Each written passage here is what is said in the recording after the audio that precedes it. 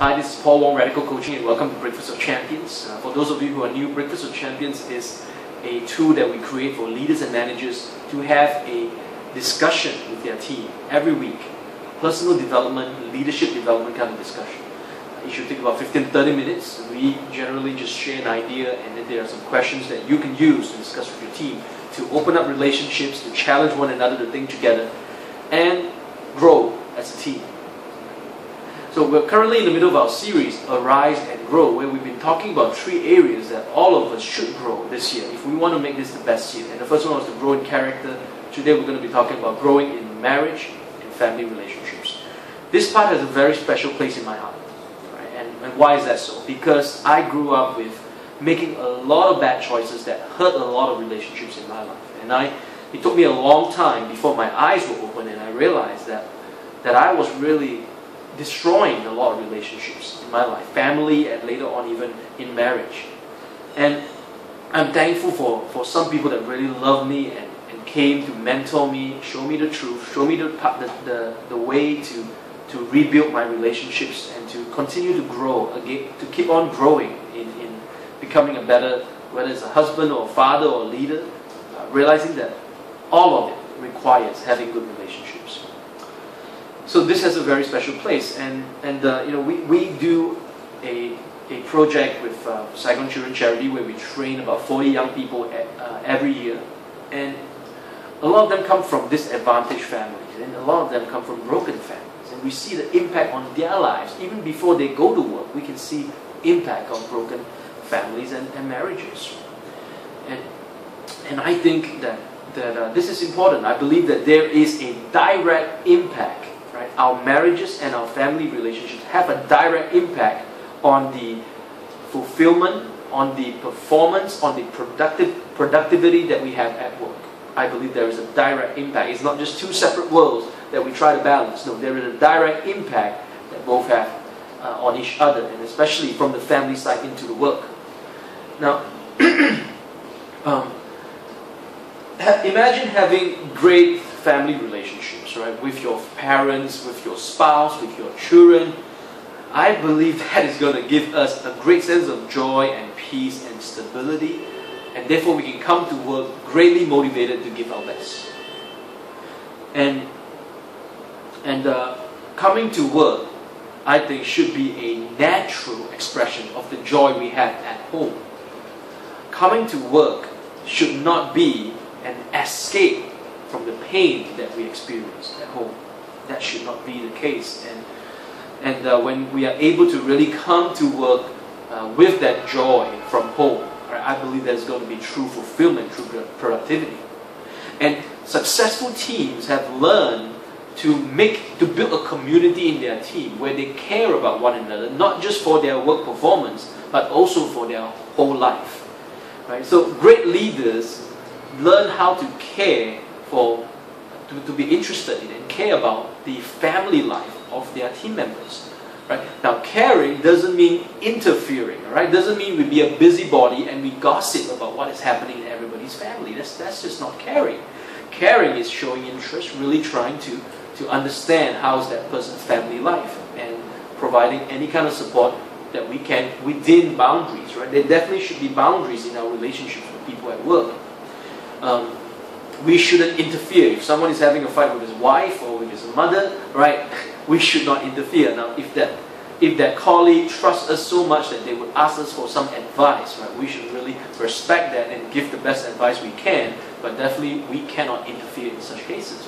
That person should be responsible for his relationships, right? But how, so how do we create this caring environment, right, so that everyone in the team can grow in marriage, in their marriage and family relationships. And so everyone knows also that we don't just care about their hands, we care about their whole life, right? Their heart and their mind as well. Here are some tips for you, all right? Here's three tips. First one is this get to know their family members. It's as simple as that, right? So, how do we do that? Well, pay attention to important dates, right? important events like Tet, right? Use it as an opportunity to go visit team members in their homes and say hello to their parents or to their spouse. Right? Get to know them. You don't have to be best friends with them, but really take, make an effort. Because I know it's difficult to rem- remember everybody's names, but by showing that you care, right, that is going to encourage an environment where the team members know that you care for them their whole life, not just more than, not just their work. Right? So there is also important days like weddings. You know, if, if, if you're invited to a to a uh, team member's uh, wedding, go there and go shake hands with their family members and really get to know them as best as you can. Don't sit in your own table with your own co- colleagues cracking jokes. No, go and really meet their family members. Right? Uh, same thing in the funeral, right? If, if you're invited to your to your colleagues or your team member's funeral, go there and really try to get to know the people there and, and, and really be, be, be sensitive to their needs and not just sit in, in our own tables, right? And, and just think to ourselves, right? We are, the, we're, we're just, the, just the colleagues. No. Try to get to know the family members. So that's the first thing that we can really try to do, do to encourage people to grow in their marriage and family relationships. Second thing that we could do is we can check with each other's family relationships. What do I mean by that? Well, during lunchtime, we don't have to talk about work, but we can really ask one another, "Hey, how, how's your children doing in school? Right? Are they have, you know, um, and and are they are their relationship good at home? Right? We, we can show care for one another's family relationships. How, how's that family? How's that relationship with your mother? You know, your, your mother was, is, let's say, sick. Right? How, how's the update of that? Right? We can check with one another about those things. We don't have to, again, become nosy. Excuse me. We don't have to become nosy, but we can honestly show interest and care by checking with one another's relationships. And it's a good thing to do it during lunchtime, right? And we don't have to talk to, about work all the time. The thing we could do is we could share marriage and family goals. Now, every year we, we set goals in our teams, right, to perform better and stuff like that. Why don't we share a family goal that we have with one another? Some people may say, well, I'm not comfortable doing that. Oh, that's fine, right? But for the leader, I think it's a very healthy thing if we encourage one another to share our family goals with one another in the team. It doesn't have to be every family goal. It could be some of the, the, the, the ones that, that we're comfortable to share with. And it helps us to know one another well and to, to also help each other. Right? For example, um, your colleague sets a goal that he wants to bring his family for a holiday in a certain place. Right? If you have some additional information that could help him, you could pass on that information and help him out. And this would strengthen your relationships. Maybe your colleague has a goal that he wants to be a better parent this year. Maybe he has a child that he's struggling to really parent. Now, all of us parents can relate to that.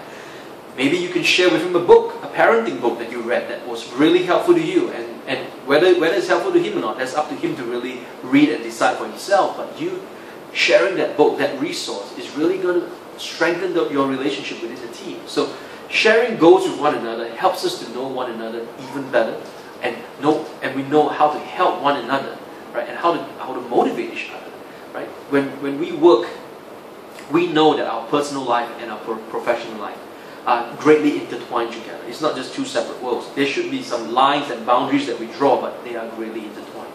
Now today in your group discussion let's explore these two questions. First one is this. What would change if our team started to care more about each other's marriage and family relationship. What, what do you think is going to change if we started to take more interest in what's happening in one another's family life? Okay, first question. So imagine that and let's, let's, let's discuss. Question number two. Um, what can we start changing today in our team if to show one another that we want each other Let's try that again. Question number two. What can we start changing today to show that we want one another to succeed, not just at work, but also at home? Okay, what can we start doing today as a team if we seriously want everyone in the team to be successful, not just at work, but also at home? Right? So you could try maybe one of the ideas I, I suggested earlier, maybe you spend more time outside of work to visit each other, looking for opportunities like that. Right? Maybe having some trips together as a team where you invite your family members to join that and, and maybe go out for, for a meal together. Right? It doesn't have to be every week, no, it could be once, a couple times a year, right? But that's for, for you guys to decide, right? So have fun discussing that And I look forward to hear from you. If you want to join the discussion, right, uh, we look forward to hear from you at boc at radical-coaching.com. Share with us your ideas. You can also comment on our blog. You could go to our Facebook page and comment there as well. And you could also go to our LinkedIn group comment there. All right, so have a great time with this question discussion, and, and I look forward to hear your ideas. Bye.